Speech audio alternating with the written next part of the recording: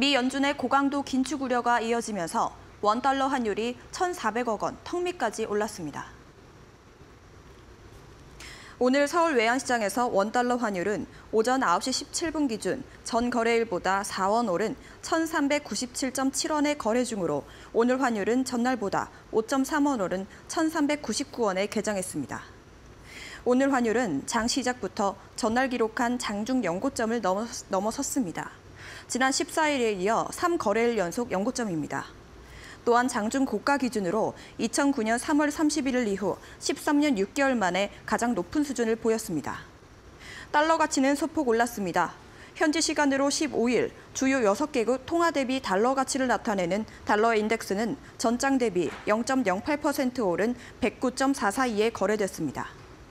달러화가 줄곧 강한 흐름을 보이는 것은 강한 고용 시장을 기반으로 미국의 소비 장가가 인플레이션을 예상보다 더 길게 끌고 갈 것이란 우려가 커졌기 때문입니다.